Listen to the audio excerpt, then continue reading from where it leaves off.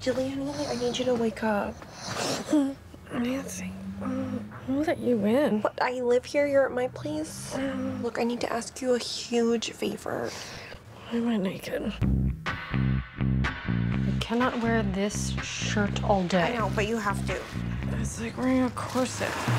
This one is vanilla, this is chocolate. They either get one or the other. That's it. See here, one second. I'm gonna run. I'm gonna get coffee. No, I'll no, no, no, no, you can't. I'm already late.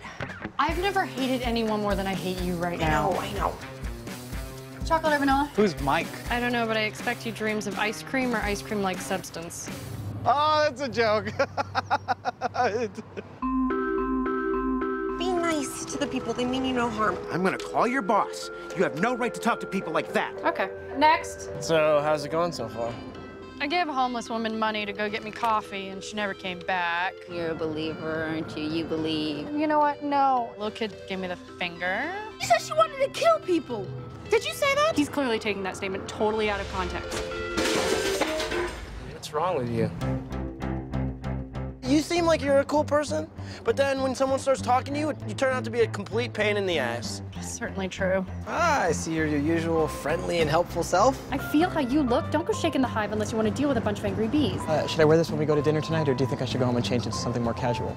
Tonight. Oh, come on, you, you, you do remember me, don't you, from, from literally last night?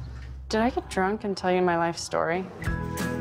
He's kind of my boyfriend, kind of my fiance. Does he know that you're having sex with a bunch of different dudes? Wait, you're a lawyer? She dropped out, but um, are you a painter this week? Really, I'm just drinking way too much, and I'm sleeping with like surfer boys and want to be musicians.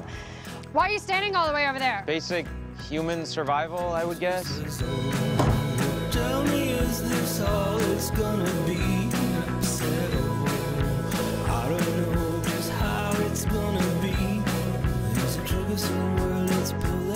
So you see, we could have been dating this whole time. We could have moved past this awkward stage and be, you know, smack in the middle of the good stuff by now. The good stuff. What the hell's that? You know, you food truck people think you're so cool. You're not. I can get ice cream at the grocery store.